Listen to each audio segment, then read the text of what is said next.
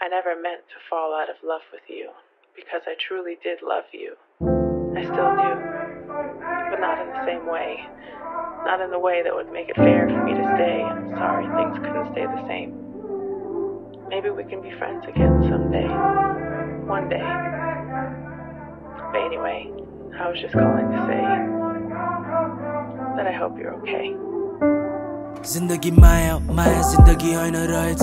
मलाई थाहा थियो तिमी हुन्न त्यही नि जलिरहे म तिमीले मुटु माथि टुङ्गा राखी भन्यौ सबै थोक। यसै पालि चुर्यो लगन म केही भन्नै सकिनँ? खासमा मेरो माया कमजोर तिमीलाई रोक्न सकिनँ म चाहे भए भन्थ्यो होला मलाई घुरी बसन त्यस्तो हुन सकेन उमेर दिनै बढ्दैछ आफ्नो भर छैन तिमीलाई रोक्ने कुरै भएन फेयरवेल तिम्रो जिन्दगीमा फली सब म चाहिँ आधी अघि बढिसके आधी उतै छ बिस्तारै बुझ्ने मान्छे हुँदैछु जे भयो ठिकै छ सोचे जस्तो ठिकै होइन तर ठिकै छ अन्तिम भेट हाम्रो ग्लास धेरै गफ थोरै तिमी त्यही उता म पनि त्यही ओरै नजर जुद्यौ तर मान्छे हामी पर नसामा गल्ती दोहोरिएला त्यहाँ डर फेरि पुराना यादहरू हृदयमा महफुज म दफन गरी एक दुई महिनासम्म घुटमा फेरि कसरी कुन्नी थाम्न नसकेर उम्लिएर दिमागभरि त्यही यादहरू अफसोस बनी घायल मुटुलाई त घोज्छ नि।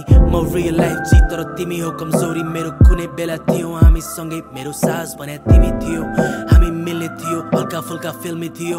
स्वीकारे छैन जिन्दगीको नियति हो। खै के हो के हो? एउटा मनले भन्छ तिमी जाने भयो। भइगयो त दुनियाँमा कति धेरै केटी। लैभरि लै खासै बोल्न खोज्दिन नि म त कसैसँग नै I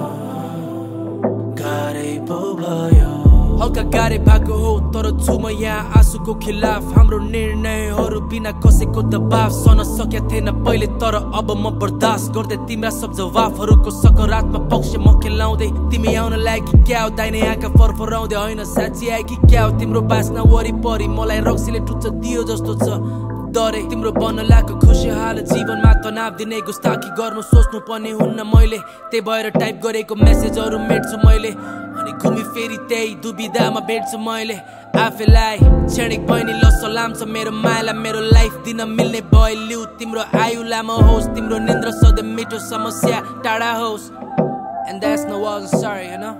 सबै चिज होस् सबै चिज राम्रै होस् फली फुल होस् जय होस् अनि केही पऱ्यो भने you already know do let me know I miss you. Team Ray.